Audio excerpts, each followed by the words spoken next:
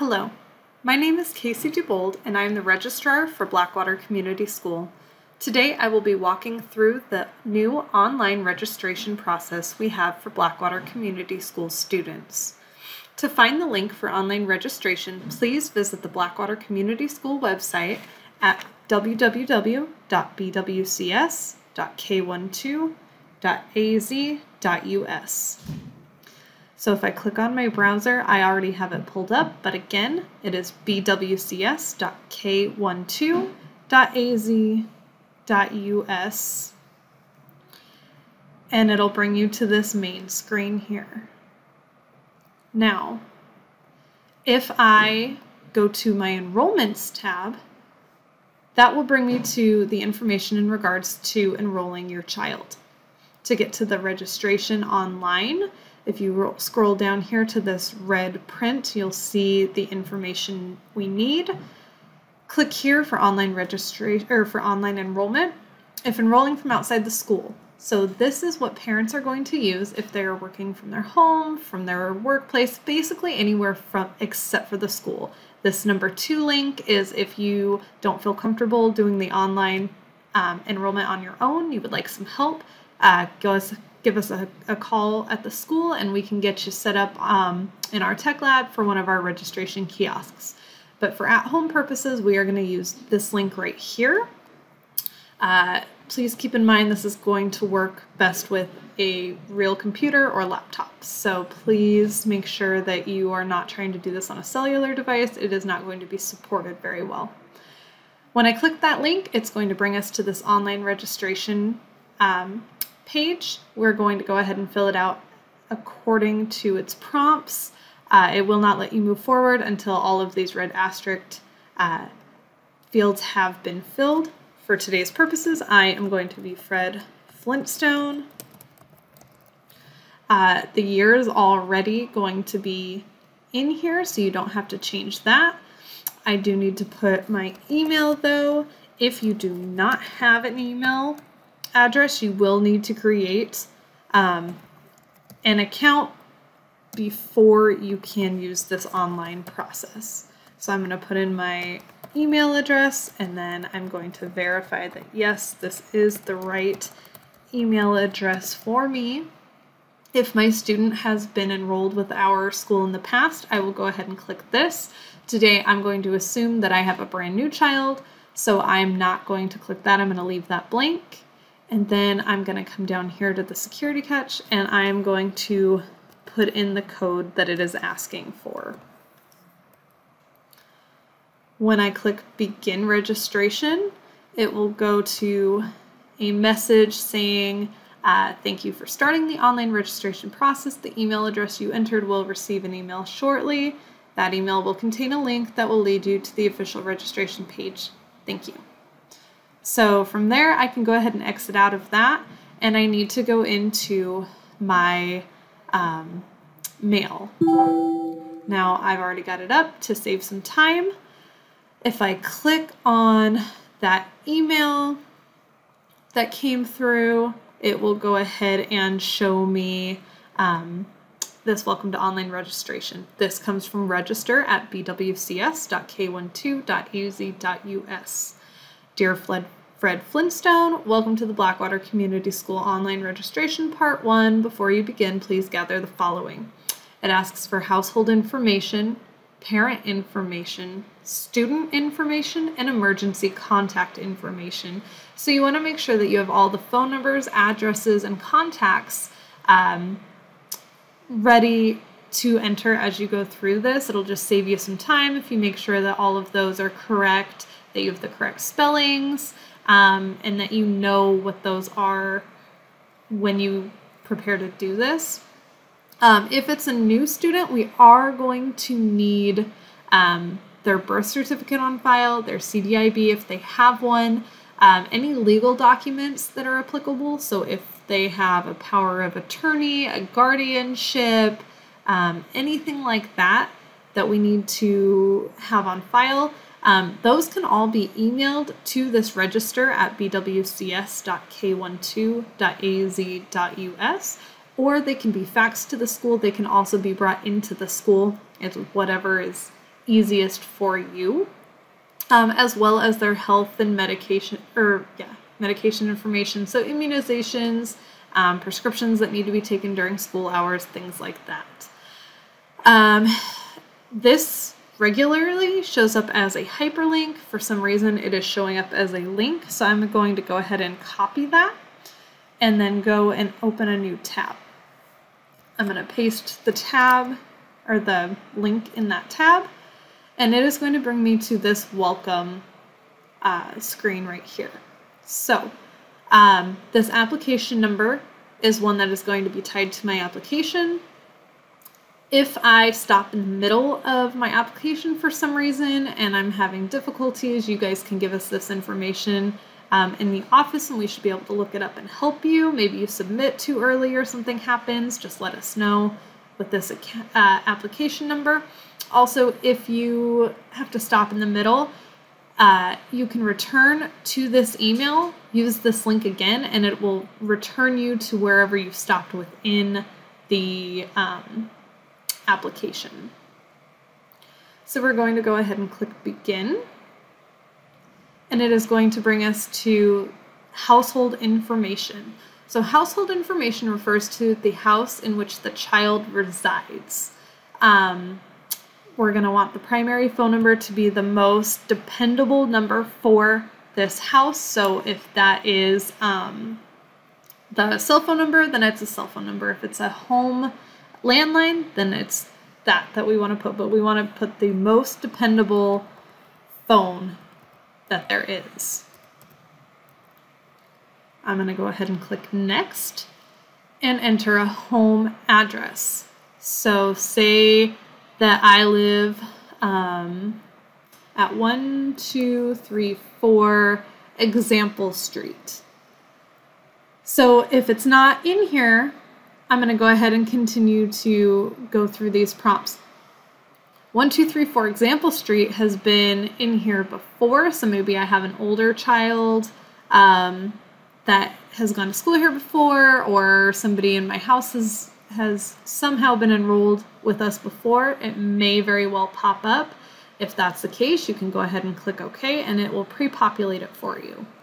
Um, now say that I lived on East Example Street. My directions need to go right here. They're pretty self-explanatory, but basically your street number goes here, your um, direction should go here, your street name right here, um, if I lived on, well, and actually, this is a perfect example. This should only say example. So somebody had put this in wrong. This is not actually how that should be. It should say east example. Street should go right here. So if I scroll down, here's street. Um, if I had an apartment number, it would go right here and then my city, my state, and my zip code is all I need to put here. And you can see it at the bottom, so you can see if it's entered correctly, 1234 East Example Street, apartment 555, Fake, Arizona, 55555. When I'm satisfied that this looks correct, I'm going to go ahead and I'm going to say next. Mailing address. If I have the same mailing address as um, my physical address, then I can go ahead and just leave this as is. If I have, say, a P.O. box, I would unclick this and then I would need to put um, my mailing address. So if it's a post office box, I would click this and then I would enter under street number that PO box. So maybe I have 555 as my as my PO box that hasn't been used within the system before, so I'm going to go ahead and have to put in the additional information. Um, so just follow the prompts.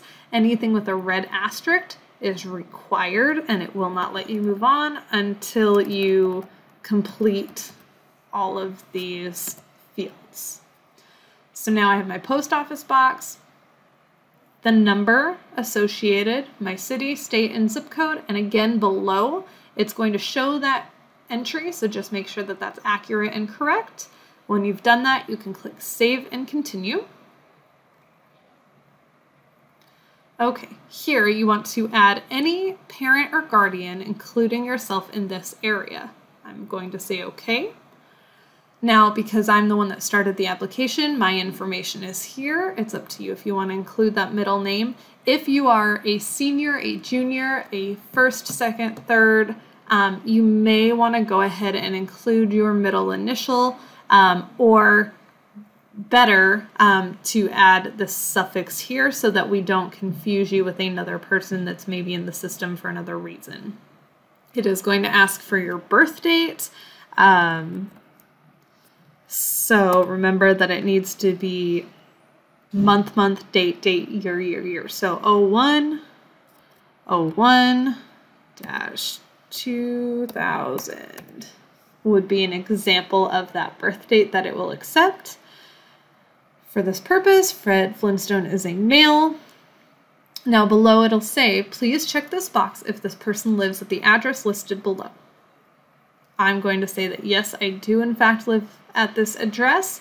Keep in mind this is what we're saying is the household address for the students that I'm going to be adding. So if I don't live with my child most of the time, I'm going to say that it's not, and I will have to go ahead and add this information um, I'm going to say that I do live at this place.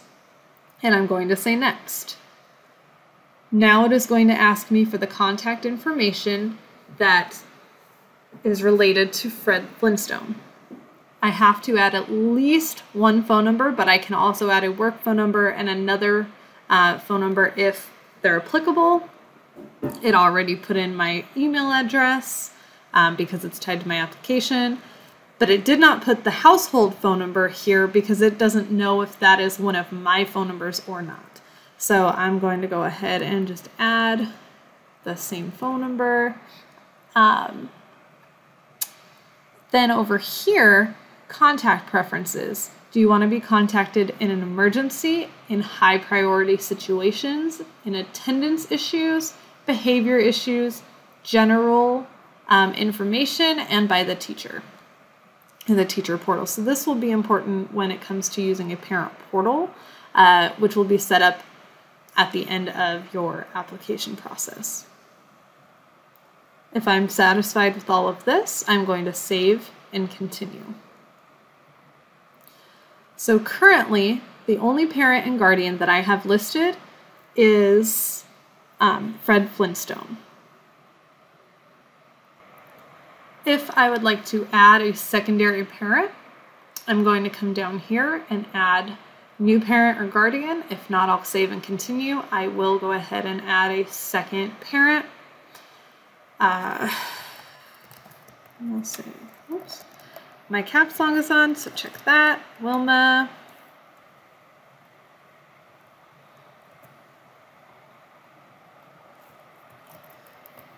Flintstone. Oops. Went. Stone. Um, again, it will require the birth date of any parent guardian.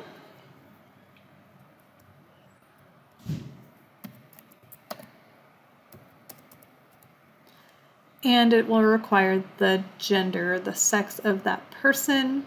Again, Please verify that they live in this household. If they do not, you will unclick this and you will put in their information. There is an option to not provide an address for this parent.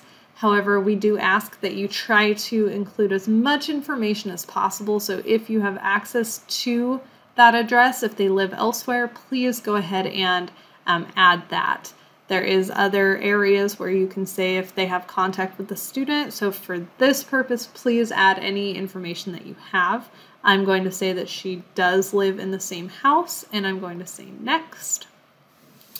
Um, maybe we don't have a cell phone for her or a work phone, but we do have another phone for her. So we will go ahead and put that. And Wilma does not have an email, just Fred. So in that case, I will say no email. If she had one, I would go ahead and add that as well. Now notice because she does not have an email, she also does not have these contact preferences show up because those are for emailing purposes. So she doesn't have an email set up, therefore she will not receive any of those notifications. When I'm done, I'm going to say save and continue. One thing about parents and guardians is we do require anybody listed as a parent or guardian can prove it with some form of documentation. That means that they are both on the birth certificate or um, there's legal documentation, whether that's a guardianship decree or a power of attorney, something to indicate that these people have the rights to make decisions on behalf of this child. So please do not put anybody here that is not truly a guardian. Um, no boyfriends, no girlfriends, no um, significant others. We don't want um, step parents unless they are true step parents, um, adoption, things of that nature. Otherwise, please only put people who have legal guardianship um, and documentation that can prove that. If we have all of our guardians, we are going to hit save and continue. Emergency contacts. So we will have to have at least one emergency contact, but no more than eight. Um, any emergency contact is allowed to pick up um, students in an emergency situation, um, so if there's a health issue, an accident, or if we are unable to get a hold of anybody to pick up the child at the end of the day, um, or if they're sick, these people will be contacted uh, to do so. You are giving the rights to us to do that. Um, and once they have been picked up and are in those custodies, they are no longer um, under our care. So just make sure whoever you choose for these people uh, they are people that you trust with your child. We will not release students to these uh, emergency contacts unless we have authority um, from parents on a regular basis. So if parents are um, running late and they've asked an emergency contact to pick up their child, they do need to let the office know. The only time we release to emergency contacts without uh, parental uh, consent first is if it is an emergency situation or if we are legally obligated to do so. Um, so for this, I'm going to go ahead and put Barney.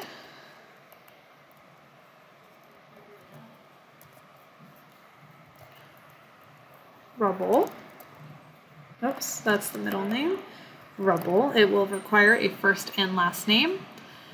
Again, if you know that it's a junior or a senior, I would suggest putting the suffix, um, and then it will ask if, if this person is a male or a female. We are going to go ahead and click next when we are satisfied. Please do not use um, nicknames and do your best to spell the, their names correctly um, to avoid confusion. Uh, we do require that they have at least one phone number on file with us. And if they have additional, you are welcome to add those. If they have an email that you would like tied to us, go ahead and throw that in there as well. But please ask permission uh, before you put in a bunch of um, personal information on your contacts make sure that they are okay with the school having the information and using it to contact them. Uh, verification. Does this person live in this house? If it is a grandmother that lives in the house or something along those lines, you can go ahead and click that. Um, you can put in an address for them if they have it, but this is not necessary for um, our purposes, not when it comes to emergency contact. So that is kind of to your own discretion. When I'm satisfied, I'm going to say save and continue. Barney does not live at that address, so I'm just going to say save and continue. It is going to list my emergency contact. If I have a new emergency contact, I'd go ahead and continue. Um, if I forgot something or I realize, shoot, I spelt that wrong, I can go edit, review, and I can change it. When I'm done, I say save and continue, and it'll bring me back to that main screen. When I am done with my emergency contacts, I will go ahead, save and continue, which will bring me to student information.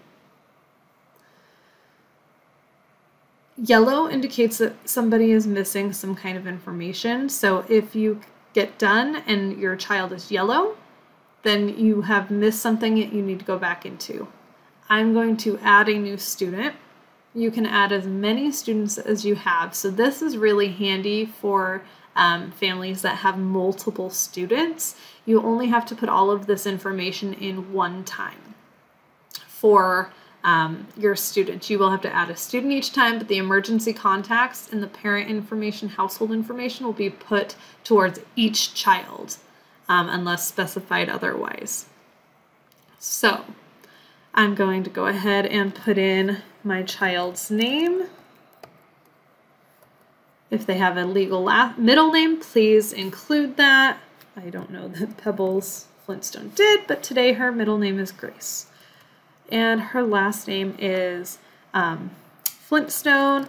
This last name must also um, match the, well, the whole name needs to match the birth certificate unless um, you have legal documentation that the name has been changed and is different.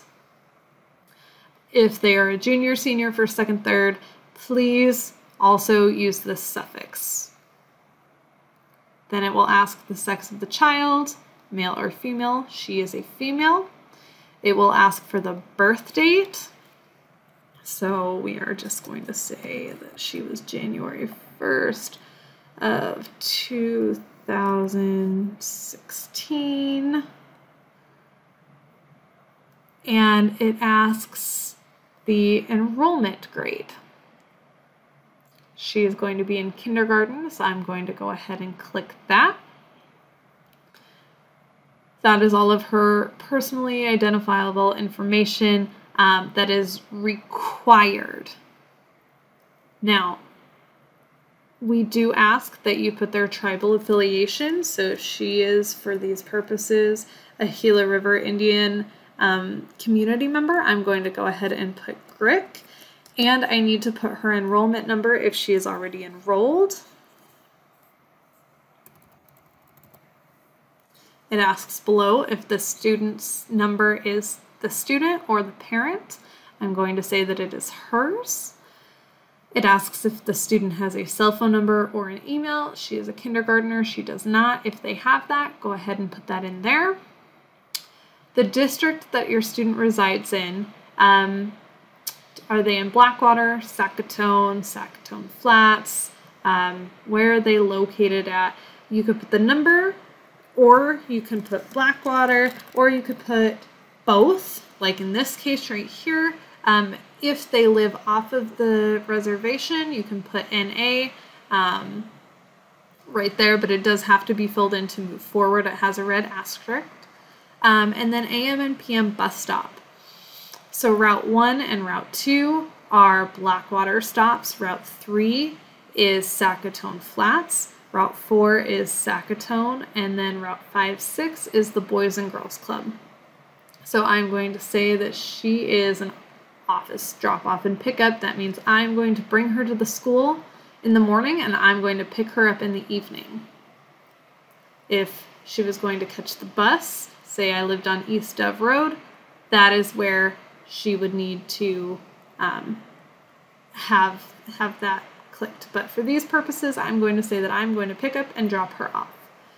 This can be changed later with the office if need be, um, but we do need this information so that we can make our bus lists. So that does have to be filled out. If you have questions, go ahead and call the office. I'm going to click Next. It's going to ask my race and ethnicity for my child. Um, so I'm going to say no, she is not. For these purposes, I'm going to say that she is American Indian or Alaska Native. Um, if your child is something else, go ahead and list that. And then click Next. Last year school, did she go somewhere last year? I'm going to say that she went to Gila River um, oh, child Head Start. Sorry, Head Start. Head Start. And I would need to put in their address or their phone number. I'm going to say next, and that'll bring me to relationships. So this is asking, what is Fred Flintstone in relation to Pebbles Flintstone? I'm going to say that she is, or that he is her father, and that Wilma is her mother. You'll notice there is also parent guardian, state guardian, stepfather, stepmother. You are a parent guardian if there is um, a legal documentation saying so. You, as a parent, should not use state guardian. Um, and again, stepfather and stepmother should only be used if there's legal documentation proving that they have legal guardianship over the child. So, once we have that established, do is this person a guardian? If they are, they should be clicked. Um, are they mailing? Guardianship, this is also they're a parent, do they have their guardianship? Which, if they're living in the same house as them, they definitely should. Um, but maybe we're just saying, you know, so you are aware, Fred Flintstone is her father, however, he does not have guardianship. Um, you would put no relationship over here. That would also just block him out. Um, but you also need to have proof that that person does not have guardianship um, if you are going to claim that. I'm going to go ahead and say yes, they are both guardians. They need to have mailing. Uh, they both need access to the parent portal and to um, Messenger. We're going to go ahead and give all of the parents the rights, which is the norm. Um, it's not often that we would see where one parent just does not want access. So defaulted, they will all have access. Then you're going to do contact sequence. So do we get a, home, a, um, a hold of mom or dad first? I'm going to say that Fred is contact number one, so maybe he works from home, mom works, um, or whatever the case is. Whoever is going to be the most likely to answer to come get the child, that is who you want to put as contact sequence one, um, and the other one is two. You do have to have a contact sequence to move forward. Um, I'm going to say down here, next, and it will bring me to my relationships, the emergency contacts. So it has the contacts that I've entered. It's going to ask for my relationship. So is this person an emergency contact? Um, a grandmother, a grandfather? Um, are they a sibling, an older sibling? If they are, they must be 18 or older uh, to sign the child out. Um, stepmother, stepfather, uh, TSS caseworker, whatever the case may be. If it's an aunt, uncle, friend of the family, um, godmother, godfather, anything like that, cousin, that will just be under the umbrella of emergency contact. And then we need a contact sequence for them as first. So if you have multiple of them, you need to decide in what order you would like us to call them. I only have Barney, mom and dad are one and two, so that makes him three. And I'm going to click next.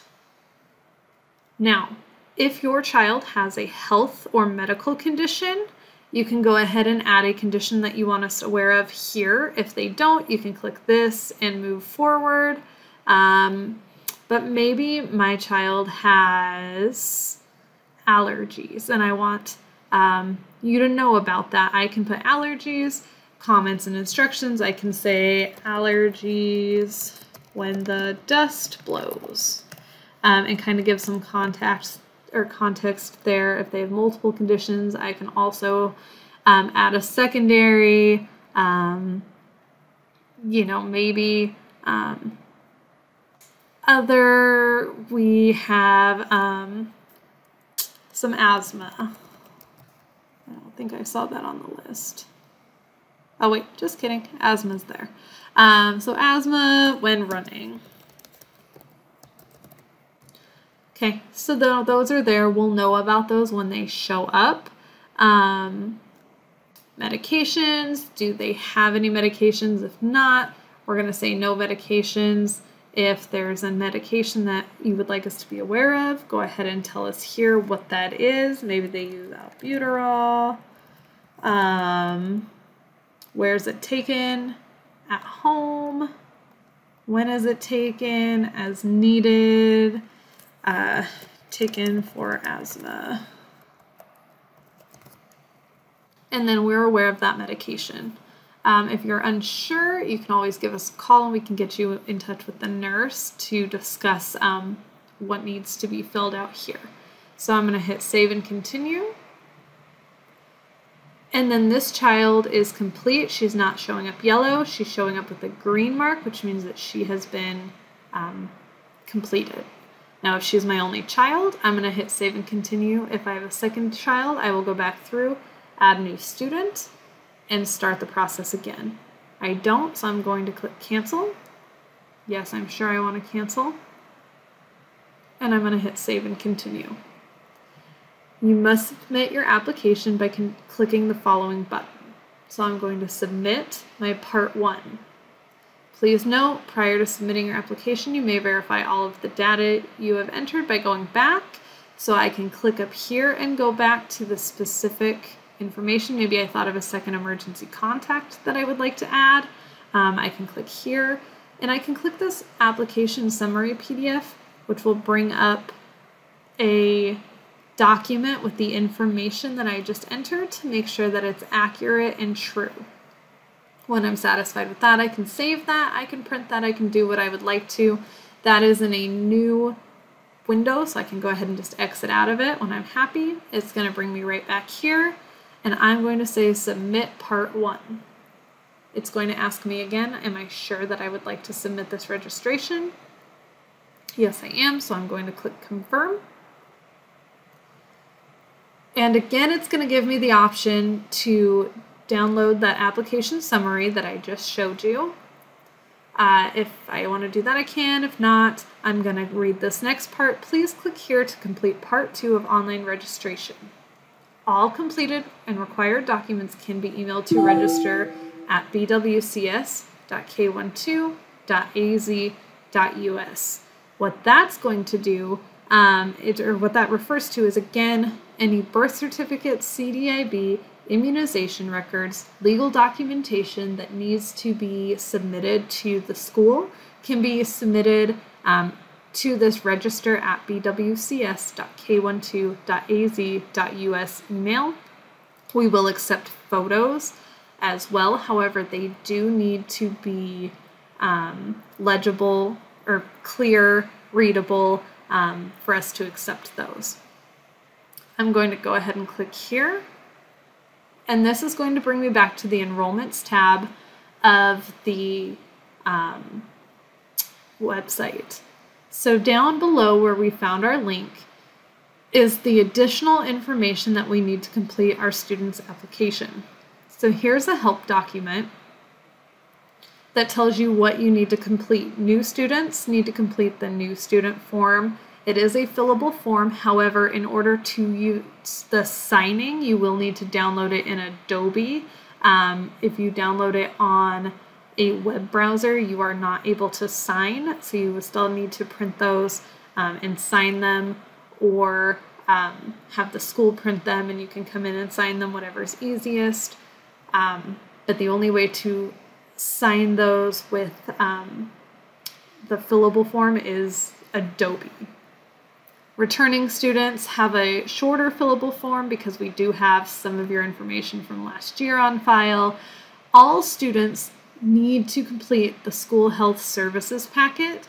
Unfortunately, that is um, a printable only packet, so if you don't have access to a printer, you're welcome to come to the school and fill one of those out, but that must be returned before um, you are able to have your child start. Um, and then lastly, the student resources PDF is helpful information to kind of give you um, it gives you the school calendar for the upcoming year. It also gives you the um, internet policy and our technology policy, um, our Blackwater uniform requirements, and then the student handbook. So if I click on the new student registration, according to that health doc or that help document, it will bring up all of the required documents for our new students. So I still need to complete this um, for my enrollment, but we have your main information and we can get started on that enrollment for your child. This can be emailed to us, it can be faxed to us, um, or you can bring it into the school. So if you open that document, it will bring in or bring up the second part of that child's enrollment. So for a new student, we need to have a request for student records on file so that we can um, request records from the previous school.